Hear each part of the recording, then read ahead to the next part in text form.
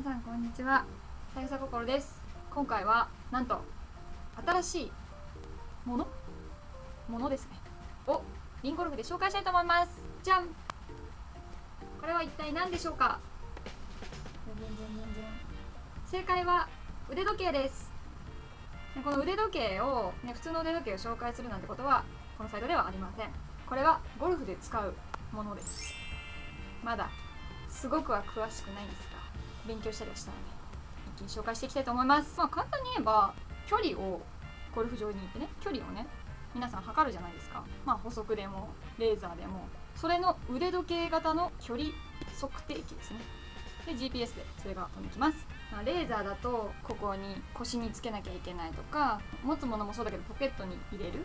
結構こう重さがねあったりするじゃないですか。でもこれは腕時計式なのですごくこう邪魔にもならない。ですごく軽いのでつけてる違和感などもあまりありません。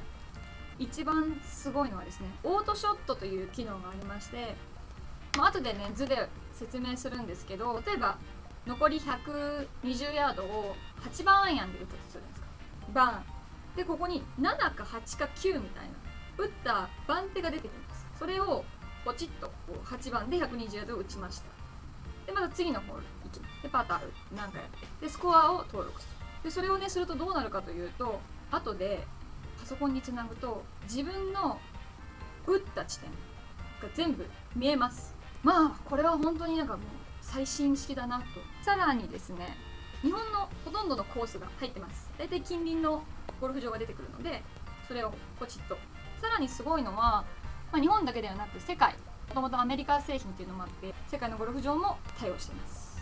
でその PC にねつなげた時に結構すごいいろんなことが見えたり分かったりするんで PC と連動するところも後半で見せていけたらなと思ってます。じゃあ早速純ちゃんと一緒にあのゴルフ場に行った時に少し使ってみた動画があるんでそれを見ながらまた詳しく説明していきたいと思います。純ちゃん、はい、新しい、うん、なんていうの機械を投入してみますリンゴルフに。はい。いろいろ出るらしいんですよ。ほまあまあラウンドしながらじゃないと見れないらしいから、ううん。まあちょっとコースに行ってみましょう。うん。あそうラウンド開始。OK うん。現在地確認中です。今これ GPS で現在地をこう取得してますね。あのまあそういう項目があるんですけどそれを使って現在地を GPS で取得しているところです。こうやってぐるーってやってるとおほらコース選択っていうボタンが出てきて大体近隣コース10コースぐらいがこの時に出てきます。あ出た。グリーンなんていうの？エッジ。エッジ。エッジが下で奥。奥。うん。でパー4で、うん。打ってったら多分出るから。うん。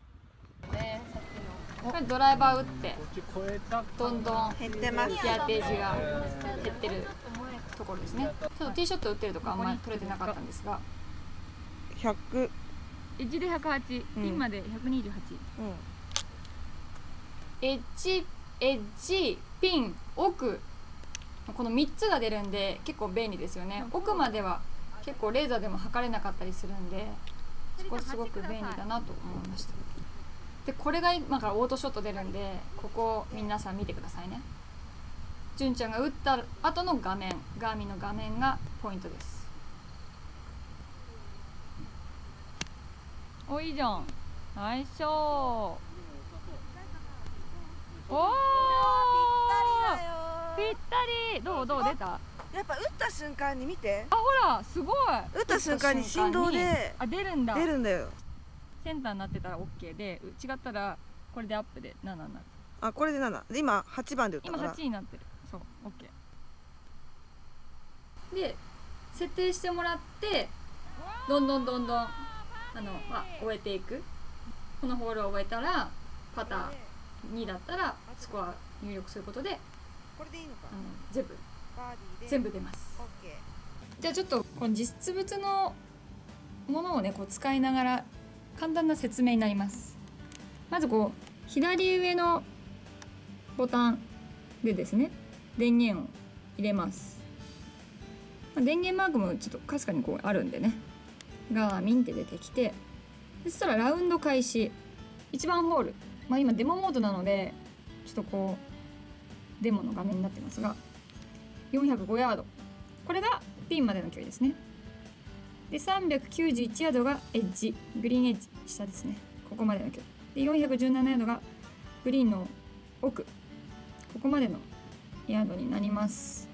これを例えばハザードってあのまあバンカーとかそういうのがあの池とかあるかなっていうのを見るのでこうハザード情報というのをポチッと押すとですねここにバンカーがあるんですよ。この A っていうのがバンカーで。でバンカーまで手前から204で入りますよ。越すので219ですよ。っていう表示が出てきます。でこれもバンカーです。B の B バンカー。B バンカーまでは370ヤード。なりますよっていうこれハザード情報なども見れたりします。さらにまあ今ななんだかなみたいな見たい時にスコアカードっていう機能があって、まあ、今こうですよみたいなこう18番ホール17これは間違ったら変えることもできます。修正も可能です。ピンの位置変更なんか機能もあって。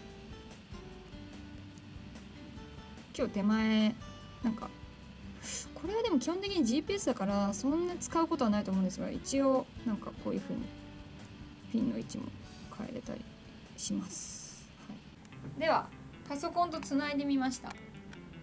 ポチッと。充電も多分今されてます。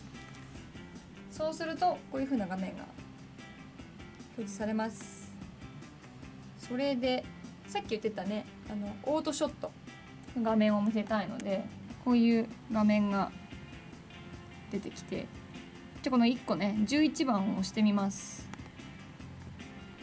ドライバー打ちました。セカンド地点8番アイアンで打ちました。こういう風に自分の打った地点がどんどん出てきます。でクラブなどもし間違えた場合があったらここで修正もできるんで、ね、クラブを編集みたいな。8番じゃないよ7番だよみたいな。9番だよってやるとここで打ったクラブが9番変更されます。私もこうまあ今までいろんなね距離計とか測定器使ってきたんですけど、まあ、雨だと、まあ、この測定器もね意外ともう的を測れなかったりとか、あのー霧じゃもう使えないですよね。でもそんな時に防水機能もついてるえっとまあ GPS なんでその当てなくても常に距離は出てくるのですごくそんな時は便利だなと思います。ゴルフだけの機能を今ねババッと紹介したんですが普通に歩数計だったり睡眠時間が分かったりとかあとスマホと連動できたりとかそういう普通のゴルフ以外の生活の機能もついたりします。ぜひ興味のある方は試してみてください。バイバーイ最後までご視聴いただきありがとうございました。他の動画が気になる方は左の動画をタップ。チャンネル登録は右の登録ボタンをタップしてください。コメントと高評価もよろしくお願いします。